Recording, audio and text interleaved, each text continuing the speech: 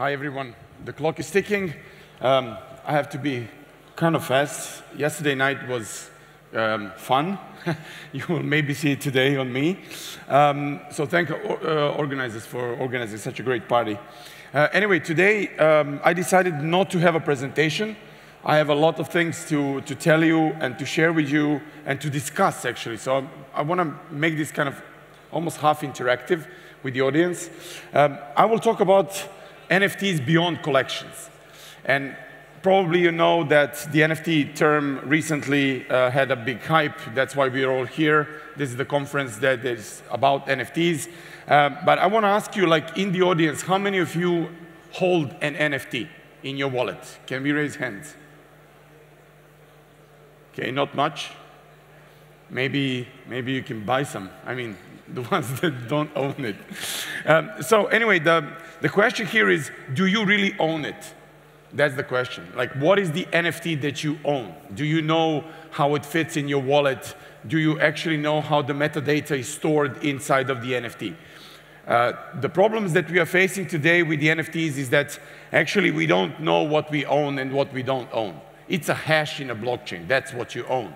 And the metadata of the NFT is actually stored on a decentralized or sometimes even centralized storage. That means that the thing that you think you own, the image, is actually a link that is propagated in a file that is also stored in a storage that is sometimes not even decentralized, which means that you don't own it. Because you can, of course, right-click Save As, and then you have another one. So the, the question here is like, what are NFTs for? And when I give uh, public lectures, I usually say that the biggest problem of the NFTs is that they don't solve any problems. And that is true right now. Maybe we can have two different cases now to start with this, this discussion. Like the first case is yes, it solves a thing, which is digital art. Okay, in a digital art sphere, the problem that digital art has had in the recent couple of years is that, not recent couple of years, maybe last 20 years, is that their, their work was not appreciated. They could not value the uh, digital art work because you could just save as, right? And, and then send a, a link or, or image in an email. So now finally with the NFTs, we can say, okay, you own this JPEG file or a PNG file or a 3D file, which is not quite right, but still it, it brought valuation and value to the NFTs. The second thing that happened in the last year, and you've probably seen a lot of it, is that the NFTs were used as a funding mechanism. So that's kind of a problem that it solved, is how to raise money through uh, putting out a collection of, I don't know, let's say 10,000 pieces or 5,000 pieces. And that's actually a funding scheme. It's not uh, uh, hey, here are the NFTs that solve certain problems. So what pro projects used to do is kind of think about methodologies of what NFTs could bring to their audiences and then create collections in order to actually raise funding. And raising funding is something that has been uh, going on in a civilization for quite a while. But the thing is that, you know, you had a couple of different options to raise funding, right? You're selling equity, in the company in the crypto space, you were selling tokens. Um, in, in crowdfunding space, you were selling some, some future products. But in the NFT space, people came up with this fantastic idea to put, you know, on, on 10,000 JPEGs, to put some rarity scores, to put some special things in these NFTs so that they make them unique.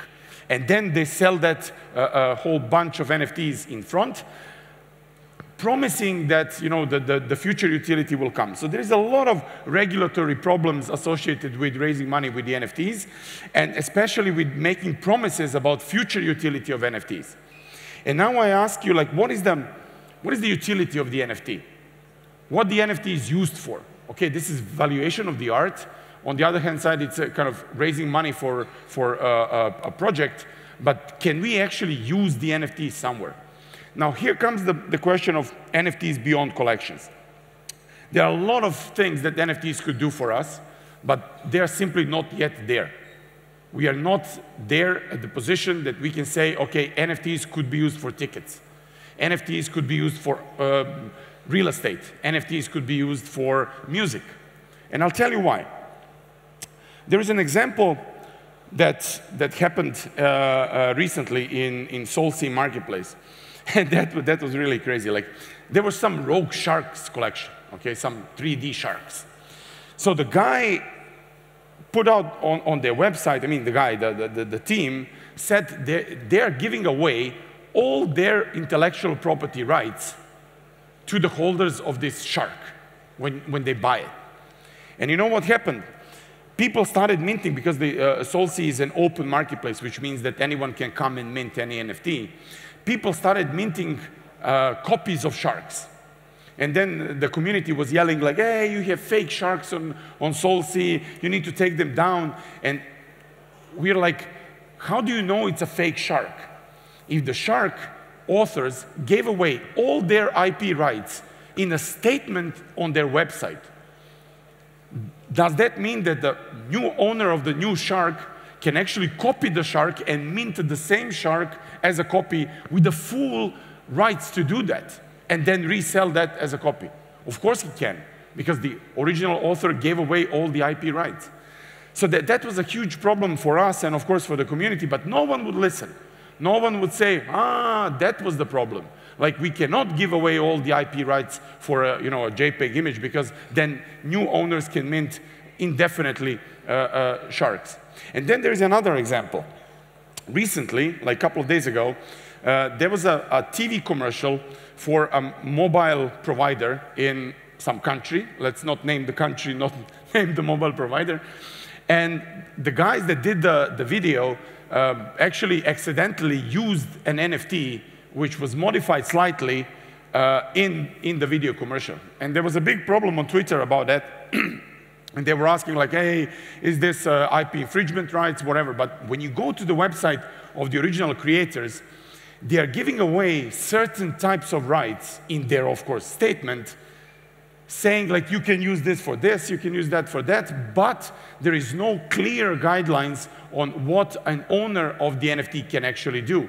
And if you own the NFT, can you actually use it somewhere? Which means, for example, put it on a commercial, uh, print it on a t-shirt, whatever. Uh, so it's still an ongoing issue. But the question here is, if we are going to sell something as an NFT, do we need to put license agreements inside of the NFTs so that the, the buyer and the seller both know what they're actually buying and what they are selling? Of course, yes. But let me give you then another example music. Okay, so we want to make a, a, a music uh, NFT. And then we want to put this music NFT so that people can buy this, this uh, uh, uh music video, for example. Now the question is, what type of license are we putting together with the NFT? Like, can I buy an NFT and then put it in my movie as the main theme? Or can I buy this NFT and then, I don't know, play it on a party? Or can I buy this NFT and use it uh, in my home. Nothing of this is solved yet. So we don't have a solution that can tell us like, okay, here is a music score, and then you have like a couple of different license rights associated to the same NFT that give the holders different type of rights, and you can read it in a blockchain. That's important because the dApps that are using these NFTs should be able to read these things from the blockchain in order to provide the ability for users to actually uh, get the appropriate license for that. So we are not yet there. Then, of course, movies. Then, uh, I mean, you name it, uh, the, it it's all, all, uh, all the problems are there at the same time for every vertical that you think of. So if we think about NFTs beyond collections, beyond these funding mechanisms that are currently used, we can definitely say that we need to build the infrastructure that will hold the next level of NFTs um, usable by larger communities. And when we say communities, there is an interesting thing. Uh, you heard the, uh, the lecture about DAOs, I think, previous to, to, to this one. So what happened also is a lot of experiments. Okay, so NFTs, in a way, could be used as an access rights to enter a certain type of communities. So this changed the game a lot. Like you buy the NFT in order to have the privilege to enter the communication with other, other uh, community members. So that created this DAO movement where actually the community is based on the ownership of the NFT, voting or participating in a specific type of action. Can it be solved without the NFTs? Of course it can. It's, it's not a question at all. But it's just a, showing you that people are trying to find ways to actually use the NFTs for something that is, you know, unsolvable, but, but actually solvable. So why the community development is crucial point of the NFT uh, uh, movement, let's say. The NFT movement is something that we haven't experienced so far, at least I haven't seen it uh, uh online for a while. On SolSea, once we launched SolSea, that was in uh, September last year, we thought that people will come to SolSea, mint their NFTs on Solana blockchain, and then sell them as basically one-on-one -on -one NFTs. What happened is that at the same time, um, people from, from Solana and, and Metaplex launched this candy machine thing. So candy machine was putting out 10,000 pieces like in a day like minting these, these collections. So everybody went wild with the NFTs. And there were like 10,000 pieces of this monkey, 10,000 pieces of this cat, 10,000 pieces of, of, of, this llama, you know, pixelated llamas, pixelated cats, pixelated dogs, monkeys. Um, so we ended up today, we ended up with some, I think, 15 or 16 million NFTs uh, minted on Solana blockchain right now, while we totally forgot about the value of the creator itself and the way that he can engage with his communities minting one-on-one -on -one NFTs.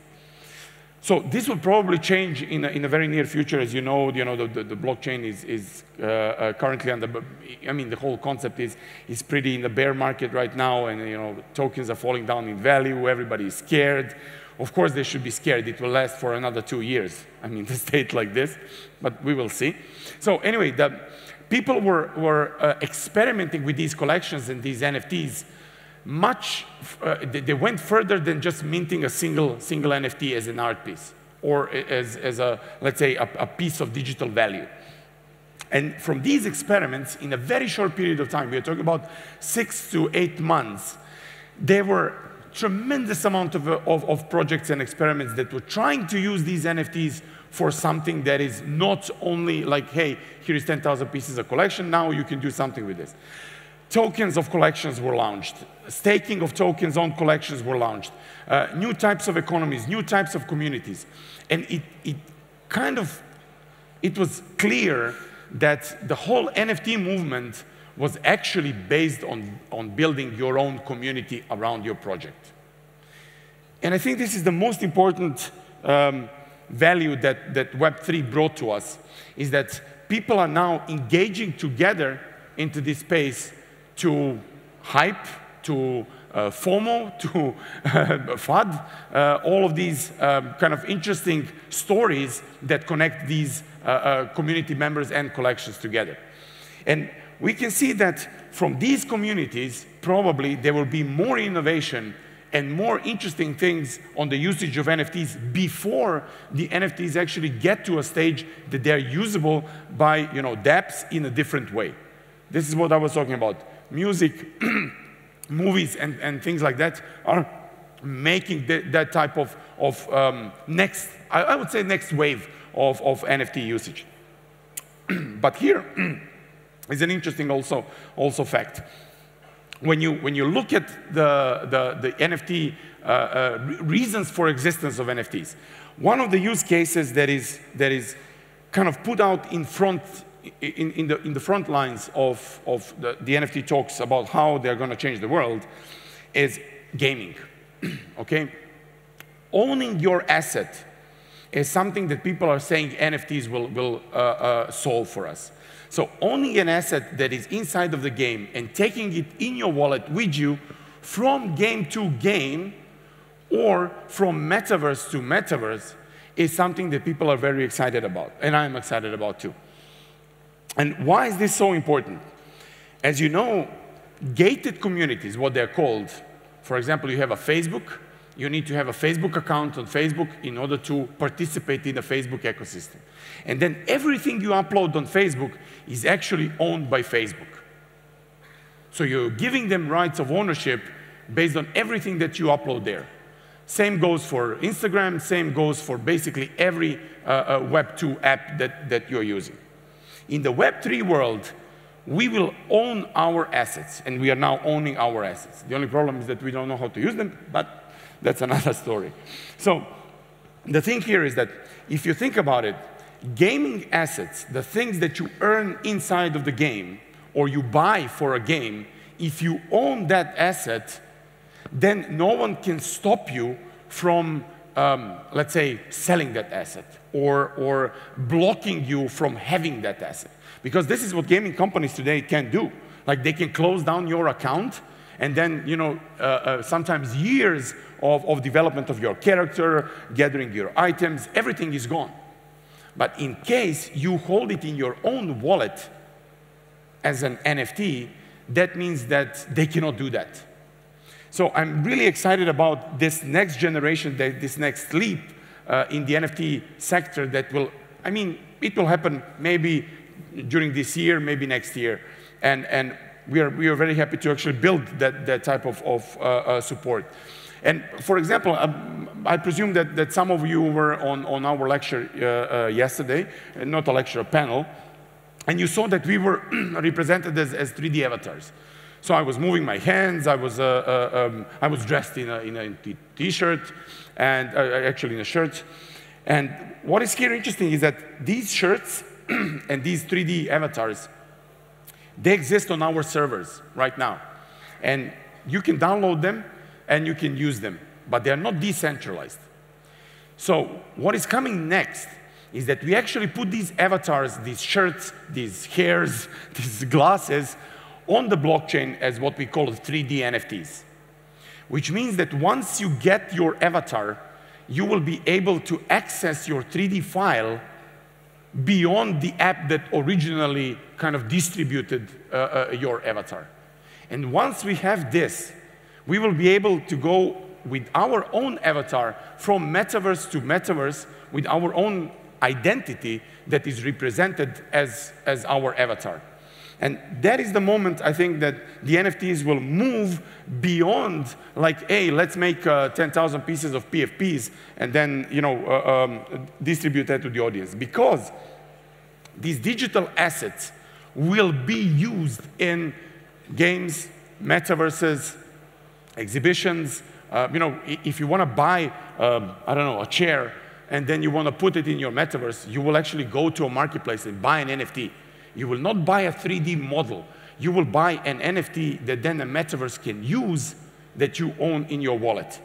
So I'm really happy that, that things are moving in this direction, but I can tell you that it's not going to happen like, like easily because the standards, the way that people are, um, let's say, fighting for dominance in the space is something that is holding us back. Because everybody wants their standard to be the dominant standard. We are no different, but um, the thing here is that, yes, we do need to collaborate on this. So we need to think about how other apps can use assets from other apps so that everything can be interlinked together because then the digital ownership makes sense. If one platform is only distributing assets for itself and then creating a community around its platform, then we don't have Web3 we don't have that leap that, that we are all expecting to happen, and that's why we are here actually, because we, we, we see that something will, will big will happen with the NFTs. We don't know yet exactly what. But to get back on a topic of, of actually what is happening in the NFT sector, um, you know, we are behind the curtains. We run a marketplace. So that means that we know exactly what is going on when, when people want to try to buy and sell, you know, when people are applying for verification and things like that. So there is a huge amount of problems to be solved for these communities that are engaging in the NFT sector. And what is happening behind the curtains is actually some very nasty things. So don't be fooled to think about, you know, all um, yellow roses yellow roses, yeah, the flowers and roses uh, uh, that exist in the, in the NFT space. It's not true, right? You have to be very careful in uh, seeing what project is doing what, like how the community is building, why the price of the NFT collection is, is rising. Is the team doxed, which means like, can you see their faces? Are they revealed who they are, what they do? And once you understand that the space currently is populated with all of these players that are sometimes very, what we say, malicious, uh, uh, you will understand that we are actually not, right now, we are not in a moment that the NFTs are doing good for the humankind. We still need to, to jump there and to start utilizing NFTs for solving of some real problems, not selling 10,000 copies of, of, of, you know, collections. And when I say this, um, when I say malicious, of course, that doesn't mean that, that every, every player on the, on, the, on the market in the NFT space has bad intentions.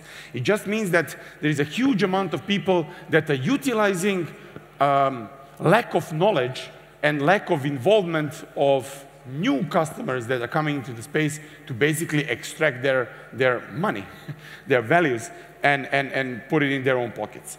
But here's another interesting fact. we have 15 million minted NFTs on Solana, let's say.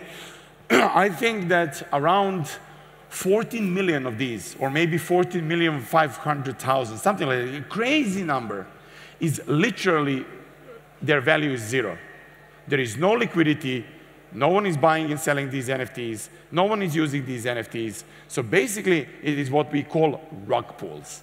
These are all soft rugs or sometimes uh, even hard rugs happened, which means that, uh, you know, like uh, uh, people just uh, changed their Twitter profile, deleted their Twitter profiles, deleted their Discord chats, and, and removed these NFTs. So the question is, what will happen with all of these, like 99% of NFTs that were minted so far that are not digital art, but actually represent these collections in the years to come? And will they be like, uh, you know, uh, tokens that were released in 2018, that most of them died? Probably yes. Are they a good example of what NFTs can be, bring for the future? No, they're not. So these are all experiments, and these are all our, um, let's say, okay, th there is a, a, a, lot of intention to bring some value to the table, but what is actually happening behind the curtains is, uh, you know, like th there is a lot of a lot of greed in the market. Everybody wants to earn money on the NFTs. So we need to move the whole space. And if you're a builder in the space, I urge you to focus not on flipping the NFTs, creating a next collection so that you can raise, uh, I don't know, half a million or, or a million or, or a couple of hundreds of thousands, because you would need to work on that community later on so you don't get into the trouble. So I urge you to build use cases of the future for these NFTs whether it's going to be you know, a, a, music type of NFTs, solving the license agreements, solving the ways that, that NFTs can really be used in the future for something that, is, that, that has the real value, but not focusing only and solely on, on, on just using NFTs as as a funding mechanism. So to kind of slowly come to a conclusion here is that if we have a 3D file that we own if we have a digital art that we own, if we have a ticket for a concert that we own that is represented as NFT, then there are other ways to utilize these tickets than, or, or, or 3D objects than solely in one app. We should think about cross promoting things. We should think about ways that NFTs can be utilized in real world instead of utilizing them only online.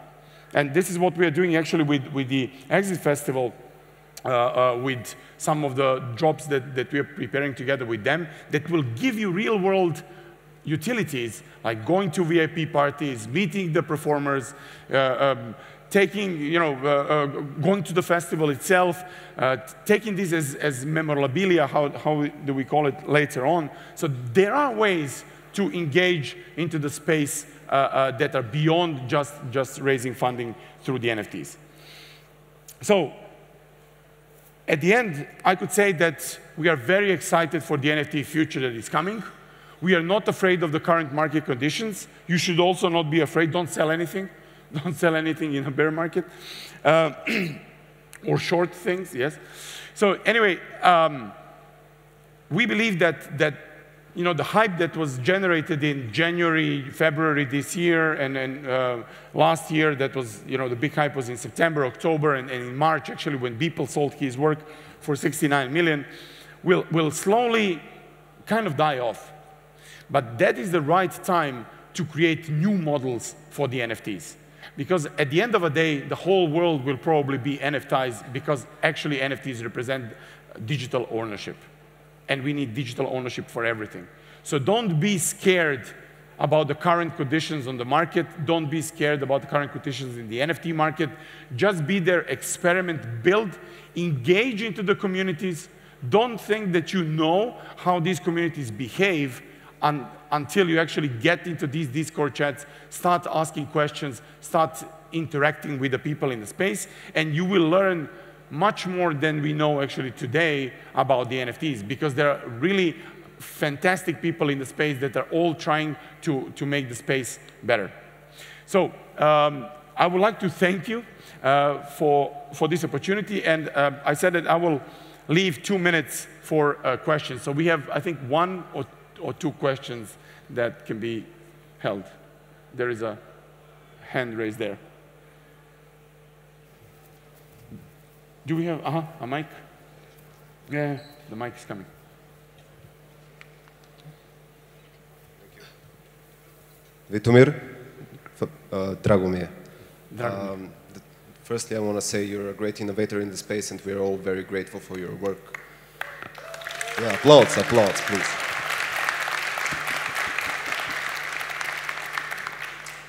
I was pondering on a question and it's basically about interoperability, talking about games and NFTs. How would you imagine that if we had like multiple metaverses and games on the other end, how would they be uh, communicate with each, with each other and you can like use the NFTs among the different platforms together, basically in terms of interoperability? Yeah, so that's a valid question. I can tell you what, what we are building and, and what others are using. So if you think about it, it's like a, you know, a digital file that is stored somewhere, right? So you need to take this file and make it usable in your own uh, engine or your own game or, or your own metaverse. Uh, uh, here is important that we reach a point where the standard for the 3D files, for example, is uh, widely accepted and that it works on all the platforms that we need it to work.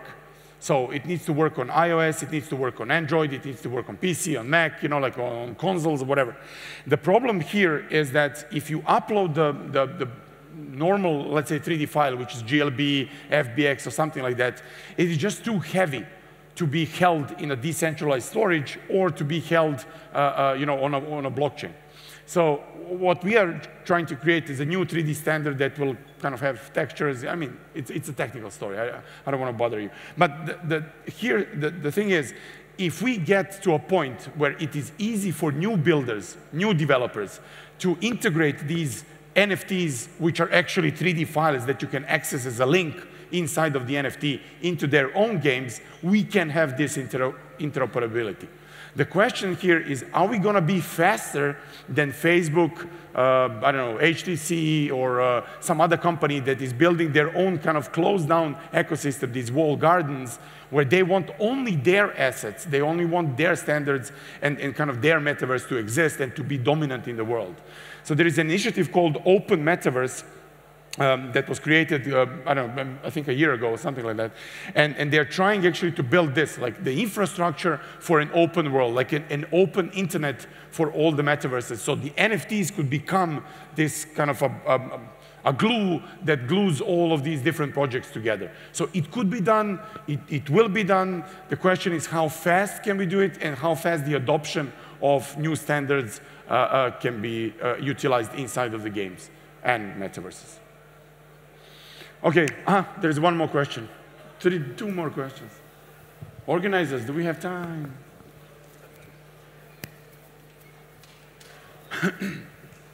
Hi, Vito. Thank you.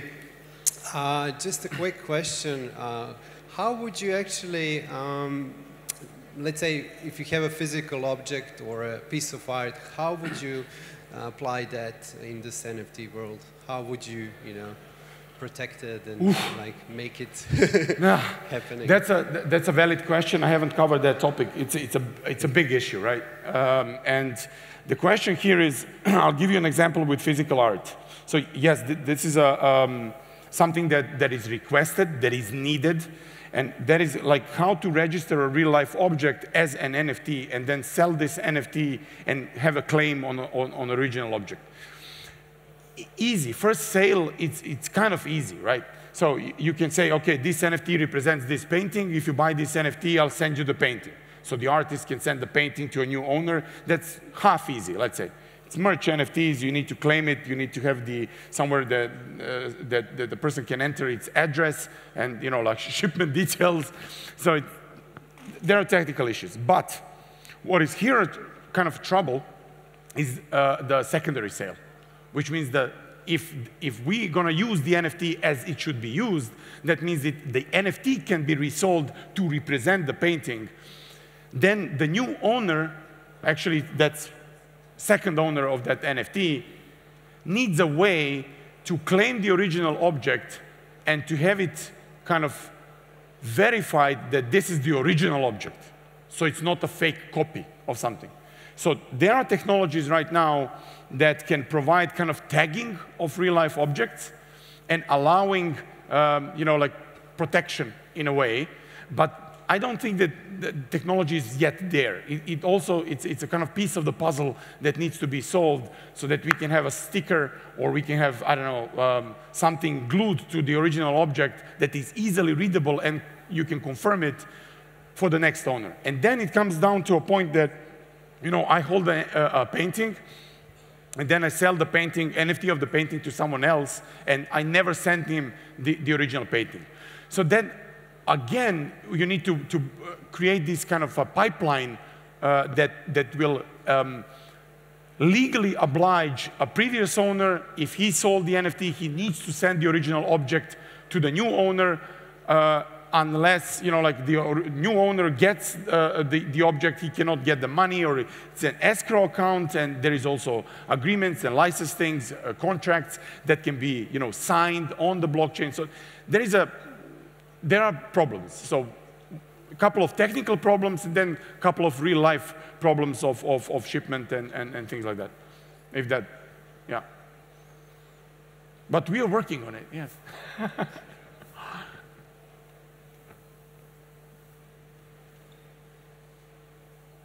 Do no? Hello? Oh, here. Uh-huh. Hi. Hi. Here. On Uh-huh. your right, yeah. Hello. Thank you for a great presentation. Um, This was not a presentation, this was a freestyle. Yeah, a great freestyle, yeah. Um, yesterday it was mentioned in this same room that uh, in order to achieve uh, mass adoption, uh, 15 to 20% of usage should happen to a certain degree in order to, to achieve that. And uh, as you described uh, in your talk, uh, we need a common protocol for those 3D files in order to be uh, used in multiple metaverses or any 3D or virtual worlds. But uh, on the other hand, we have uh, the Facebooks and the Googles that already own the crowd and they are creating stuff uh, within their ecosystems that are used and controlled by them. Are you afraid that their protocols and their standards will be mass adopted much quicker than uh, the whole thing uh, all the other people trying to create? Another tough question. Um, well, I'm, I'm not afraid. I'm, I'm really not afraid because at the end of a, of a day, you know, like the winners will, will be the ones that, that get users and, and users will be happy, whatever they use. And th that's important. Uh, I mean, we don't know in which direction civilization will go, you know, how things will develop in the next couple of years. You know that we have a lot of crises happening right now on the planet. So we cannot say, like, is Facebook going to win this kind of metaverse uh, uh, war, or is Google going to come in and, and, and, and do something, or Apple? Or, but I can tell you this, they're slow, okay? They're very, very, very slow. They, they built a beautiful hardware. Huh? Četiri minute. Četiri minuta. Još dva pitanja imam. Okay, so, um, so they're building uh, um, great hardware because don't, don't forget, without Facebook that built this Oculus headset that is so cheap, Uh, we could not have uh, what we had yesterday on, on the panel here in, in the virtual world. So here is um, an interesting thought, is like the, the, the speed of innovation that is happening in small teams is much bigger than the speed of innovation that is happening in a large corporation. So the large corporation has, you know, uh, uh, usually it's on the stock market, it has some, some goals to reach, it needs to, uh, uh, in a way, satisfy their shareholders. So it's not an easy task for them to change direction, to pivot, to decide to ditch something that they've been building for two years and change it for something else. So where I think that there is a, a big opportunity here is, of course, to be fast, but this is the biggest opportunity is like being small you know, like building in small teams, uh, going from, from one, uh, uh, let's say, project to another project, talking to them, uh, integrating things together. I think this is something that Facebook cannot do. Facebook cannot come to the conference like this, hold a, you know, a lecture like this, and then tell you like, hey, come back in the backstage and find me, and let's build a, a, a new game or a metaverse together. They cannot do that. So this is what we can do here. The audience, us, you know, like, and I think that these quick, fast movements will eventually lead to uh, a creation of, of, of, I hope, an open metaverse uh, uh, version of, of the world. Gotovo, još jedno pitanje. Ajde, šta rekla si četiri minuta. Hello, thank you very much. Um, I have a simple question to finish off. Okay. What do you think is the biggest problem of play to earn games? Simple question, huh? That's very simple. um, okay, so play to earn. I think the biggest problem is changing the changing the, the, the logic of what a game is. Okay, it's not a game when you, when you make it play to earn, it becomes you know, your, your job. It's, you're not playing a game, you're earning money, which is a completely different uh, uh, aspect of, of, of the whole kind of approach to games. So what happened in the previous times is that when you go to a, I mean, uh, that first, when I was a kid, you, you go to a shop to buy a game. You, you buy a box, right? You, you come back home and you play a game. So there is a value exchange where you are paying someone that created this experience for you so that you can enjoy it. Okay, so you're paying for enjoyment or, or, or, um, this, this experience that you're having when you, while you are playing the game. The goal of the creator of the game was to have you enjoy it as much as, as uh, you can.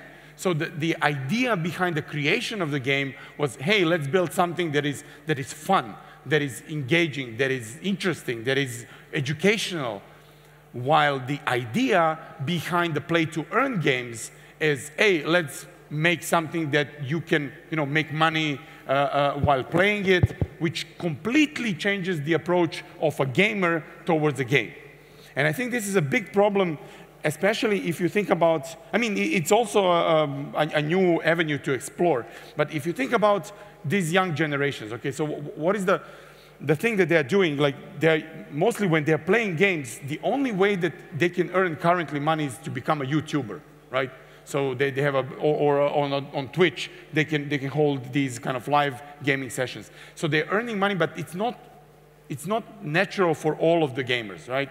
So some of, of, of kids can do that. Like they're, they're not afraid of the public uh, appearance or uh, expression. But others, they would die to be able to earn some money while playing the game. So we still have to kind of explore these avenues.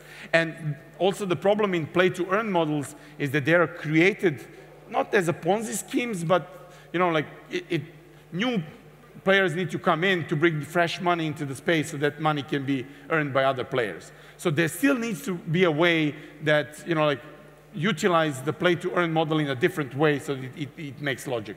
But I mean, we will see if that answers your question.